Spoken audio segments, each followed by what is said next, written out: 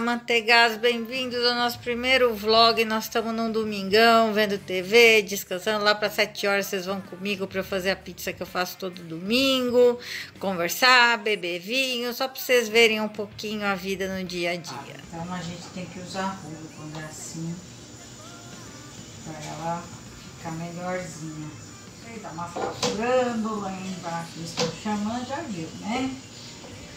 Bem-vindo ao domingo!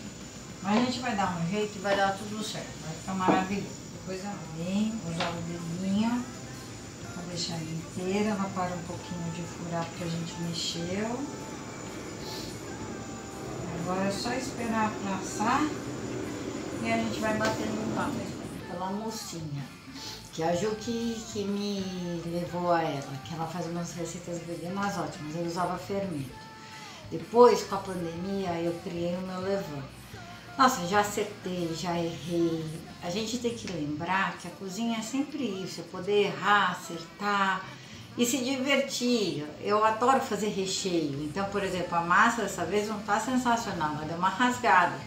Eu devia ter testado. E vamos, a gente vai sempre crescendo, faz parte, é muito bacana, assim. Que experiência você teve na cozinha que você errou e acertou e para você valeu muito a pena? Coloca aqui embaixo.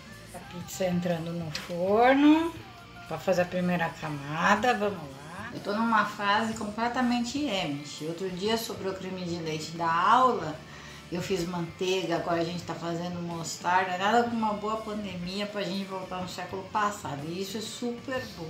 Essa pizza de hoje vai ser é, tomate com pesto e a clássica toscana com linguiça.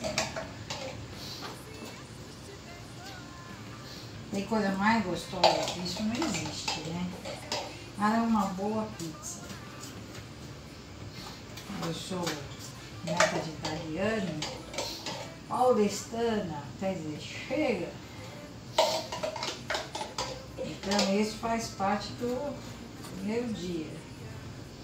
Então, a gente vai colocar o queijinho, vai montar a pizza. Hum.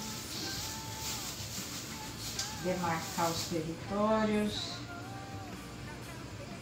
Depois a gente usa pesto pronto, mas a gente também pode fazer o pesto. Agora vou colocar um requeijãozinho. Pizza tá montadinha. Agora ela vai pro forno e a gente finaliza já já. Essa tá pronta, eu já pus o pesto que tava pronto. Olha que legal. Agora a gente vai comer ela, viu? Gente, foi um prazer fazer a pizza com vocês. Agora eu tô morrendo de fome.